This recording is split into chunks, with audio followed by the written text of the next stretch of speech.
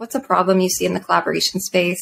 And do you have any tips to overcome or avoid these problems? I think one of the biggest problems in the collaboration space is that it can be really hit or miss the level of results that you get. The motivations of the people who have created the collaboration can kind of be all over the place. There are collaborators who have really put their heart and soul into a collaboration, but they also make sure that they keep their target customers, the collaborators that are working with them, in mind as well and have created solutions solutions for them that make it a truly mutually beneficial collaboration. I think that's really the core element of it is that while most collaborations start out as ideas for individuals like I want to grow my list. I want to build my business. I want to leverage the audiences of others in order to grow. That being the vibe throughout the context of your collaboration can reflect in a lot of ways the success of that collaboration, both from how it feels to collaborate at that level as well as the results that your collaborators get because collaboration, like other marketing tactics, can feel super gross if you're just doing it because you heard it's the, new thing to do. But if you're doing it and it feels good, it's sustainable and effective. I think, I think one of the really important elements of collaboration is that remembering the human element. It's building a relationship. So just like having a chat with somebody and getting to know them over coffee, there's an element of give and take that's absolutely essential that helps the other person feel seen and appreciated that doesn't need to go away just because you're doing some sort of marketing technique. It really is about remembering that there's a human being behind all the touch points. What's different about the way you collaborate and how can others implement it? I really tried to focus on the target audience and the problem that's being solved by the collaboration. The collaborators gone to a great deal to choose who their target customers are going to be and to pick a theme and a problem to solve. And so I can totally pull something out of my arsenal and just throw it into any random bundle or pull any little talk and add it in. But without doing a little bit of customizing to the headline or the title of the object that you're including in a bundle or making sure that the topic of the masterclass you've given a hundred times over is actually specifically speaks to the theme and the target customers, that makes such a huge difference because the people who are going there and signing up for that collaboration have that purpose in mind. And so when you're reading through all of the different options and the different speakers and the different topics, it's really clear who's there to just like deliver the same thing that they always deliver and talk about the same thing they always talk about versus the people who are really creating some form of customization to meet the needs of the target customers that the whole collaboration is designed around again, it's that human element of like, yes, I'm doing this for my benefit at the end of the day, but I really do take into consideration the people that I'm serving and the partnerships that I'm bringing on to make sure that I'm doing my best to serve both of those groups of people at the same time. There's a give and take there that's really important because if you're really trying to develop a specific niche in your business, it's good not to get everybody to sign up for it because it really only does apply to certain people. But in the context of being able to take something that I've been going really hard on quizzes because they're just strategically yeah. really relevant to growing your audience. And my clients need to make good money at their launches. My solution is here's how to grow your audience in a way that you can reliably. I can deliver that quiz content over and over in a lot of different collaborations, but I'm not using the same title and headline over and over again. I'm saying this is quizzes for list building, quizzes to help accelerate your launch, quizzes to whatever fundamentally the information is very similar, but being able to just make that slight change to the verbiage helps me fit into the theme a lot better. It kind of depends whether you should go really hard on your niche because that's what it is you want to be known for versus fitting into the theme. There's a balance between the two. What appeals to you about collaboration and why? My favorite part about collaboration is the human element. The best part about collaborating, while it benefits my business, it helps me grow and get leads. My favorite part so far are the relationships that I end up with afterwards. You can go from feeling like you're the only online entrepreneur in the world and in your little bubble to realizing not only are there people out there doing it, but they're interested in what you do. They're helping you find ways to collaborate. And every collaboration that I've really found impactful in the last six months, because it's really been part of my strategy for the last six months of the year to go hard on collaborations. All of the truly valuable collaborations that I did, the actual gold that came from those collaborations was deeper and more profound profound relationships with the organizers and other collaborators inside of that. That's just something that you can't find when you're trying to do it all on your own.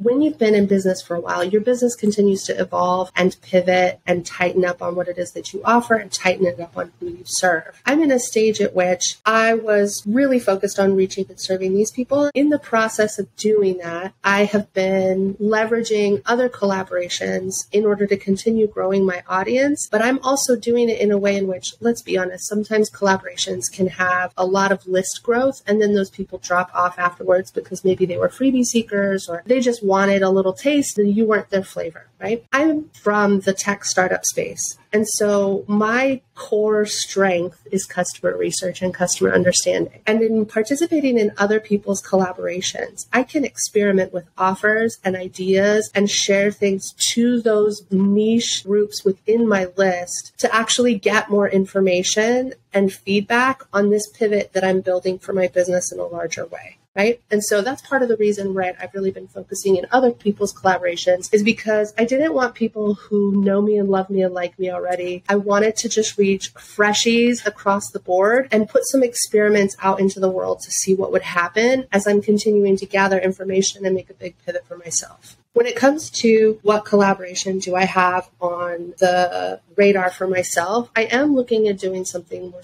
more for myself. And yet, I think in the way that I plan on approaching it, it will be a much more niched and focused around solving multiple facets of a single problem rather than being a Swiss Army knife of kick ass, right? Like a lot of the bundles and things like that, it's just like, you're the expert at this, you're the expert at this, you're the expert at this. I would like to kind of create a collaboration that is really focused around a very specific need, like launching a community or planning your community for the first time and bring in experts in that space. There's an element to that that requires more relationship building on my part and that I'm reaching out to people who are outside of my world. While that's on the radar for me, it feels like something that's really big and beefy. So right now I'm really focused on participating in collaborations and learning what I can learn so that by the time I do launch my own, you know, I bring the heat. yeah. like you said, it's about relationships. I think one of the biggest things that I really tried to do. And I've learned this just from being in the corporate space or being on podcasts or whatever. Yes, the goal is for them to talk about me and share what I do, but the relationships that I get and the impact that I have is not because I know everything and I'm just so clever. It's because I really come in with the goal to make that person look like a rock star. And that is a completely different dynamic. So even in the context of a podcast where they're talking to me about my things, I want to make sure I have something to reflect back to them or something to say to the audience about them in a way in which we're both making each other look good. It's not like, thanks for the spotlight, I'll take it. I would like to think that that's something that helps set me apart from everybody else is because it's not just about me. Like people are going to like what I have to offer or not. They're either the right fit for me or not. When I can build a relationship by also reflecting back some of that light onto the people who are doing the work, it makes me feel good, but it also makes those people feel good. I feel the same way about my clients as I do with collaborators. Like at the end of the day, I want you to win. I want to see you winning. I want to be like, yes, killing it. That vibe feels great to me. So if I can contribute to that into some small way by making you look like a rock star or by shining shining the light on your accomplishments, hell yeah, that's yeah. easy for me to do. That also comes from a place of like not really feeling like I need to put myself up against anybody. It's just not about competition. I've had to learn that lesson too hard so many times where anytime you try to put yourself first, your insecurities rear their head and oh my god, they're better than me or they have a bigger audience than me or no, no, no, At the end of the day, if you let it get in the way, you end up having like clenched energy instead of big, bright, beautiful, loving, like shine the light, make everybody feel like they're a part of this uh, energy. And, and that's really, that's my whole modus operandi. Do you have a dream partner?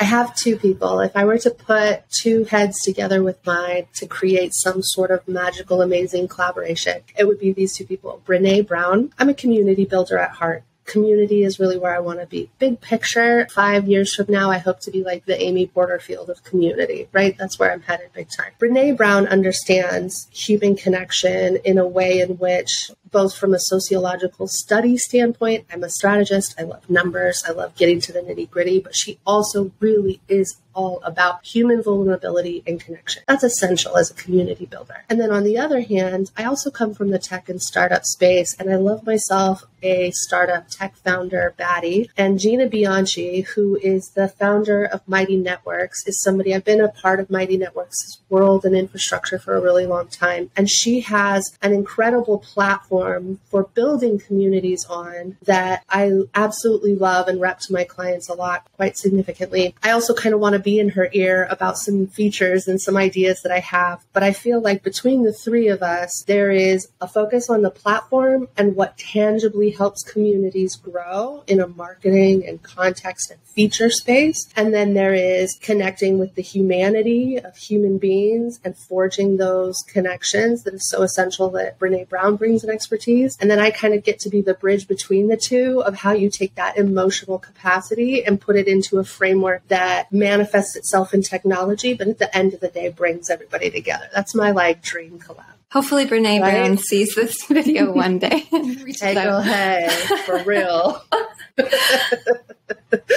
what is one piece of advice for anyone about anything? That you'd like to share right now? I think the hardest part about participating in an online world, why social fatigue and social media fatigue happens, is that people are often putting themselves at the center of the universe and putting that out. And that's just not how human beings have survived since the dawn of time. We gathered around fires to watch each other's backs, to provide protection, to connect and bond around something. It's that whole idea that community is really about gathering around a common vision or a common value or a common transformation. And when you're able to consciously set the you aside, and when it's not about me, my messages are more authentic. I connect better. There's just this element of emotional connection that other people understand when they're really truly being heard. And I think like my advice to you is I get it. Imposter syndrome. Oh my God, they've got a little bit of comparison paralysis, perfectionism, all these things everybody struggles with. And you're going to struggle with for every stage of your business continuing on and on because you've picked something that's hard and you're going to continue to step outside of your comfort zone every single day as everything around you continues to grow. So, the more comfortable you are with that and the more loving and accepting and unconditional love you have for yourself and your flaws and your journey, the actually easier it is for you to have that same unconditional love and acceptance for the people that you're engaging with. And that comes through. And that's where all of a sudden it stops being about like, Ask me how I made $10,000 in three months, which seems false and self centered and not about anything human being. Everybody's on their journey and like having that human connection, it's a game changer, I think, in the context of people being able to continue to grow and reach new people without running into as many of the human shortcomings that we have. We all have it. We're all little meat bodies, can't help ourselves, but that just doesn't have to be the way the game is played. And I think it's the key to getting away from some of the things that drive everybody nuts about being online and doing business online.